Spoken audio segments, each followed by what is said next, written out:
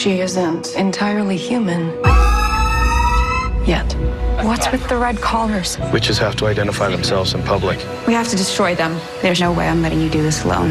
There are people out there waiting for an excuse to stone a witch. Why are you so mad? Because you're all I have left. This is no longer a witch's place. Do not lose hope. Where's Raelle? Send her back to me. Motherland, Fort Salem. New episode next Tuesday at 10 on Freeform and stream on Hulu.